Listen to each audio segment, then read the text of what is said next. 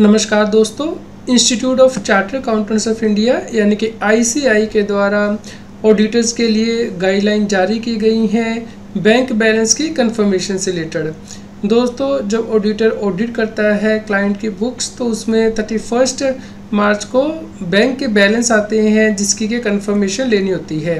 ICI के द्वारा press release जारी की गई है कि ऑडिटर को ये कंफर्मेशन डायरेक्टली बैंक से लेनी है तो दोस्तों, चलिए देखते हैं प्रेस रिलीज़ को जो कि जारी की गई है। दोस्तों, यह एडवाइजरी जो कि आईसीए के द्वारा जारी की गई है। Auditing and assurance standard board and professional development committee के द्वारा, जहाँ पे कि एक्सटर्नल कंफर्मेशन से रिलेटेड एडवाइजरी जारी की गई है। दोस्तों ओवर द ईयर ऑडिटर के द्वारा एक्सटर्नल कंफर्मेशन मांगी जाती हैं। बहुत सी पार्टी से, जैसे कि जो बैलेंस आते हैं डेटर्स के या फिर क्रेडिटर के बुक्स ऑफ़ अकाउंट में और इसमें बैंक्स की कंफर्मेशन भी मांगी जाती है।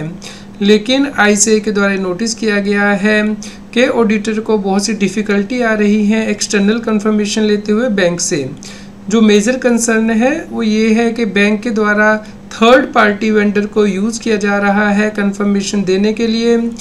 इस प्रकार यहाँ पे यदि थर्ड पार्टी वेंडर का यूज़ किया जाता है तो उस केस में यहाँ पे रिस्क इन्वॉल्व हो जाता है, क्योंकि जो थर्ड पार्टी वेंडर इन्फॉर्मेशन देती है, वो ऑथेंटिक और कंप्लीट नहीं होती है। इसलिए इस केस में रिस्पॉन्सिबिलिटी किसकी होगी? यदि आईटी कंट्रोल फेल हो जाता है थर्ड पार्टी वेंडर के एंड पे, जिससे कि इंफॉर्मेशन की इंटीग्रिटी पे इम्पैक्ट आता है।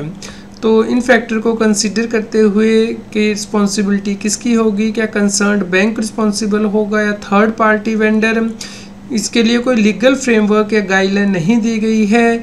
इसलिए आई के द्वारा कहा गया है कि कंफर्मेशन जो है बैंक के केस में डायरेक्टली ली जाए। दोस्तों, आप इस एडवाइजरी को डाउनलोड कर सकते हैं। इसका लिंक इस न्यूज़ की वीडियो डिस्क्रिप्शन में भी दिया गया है।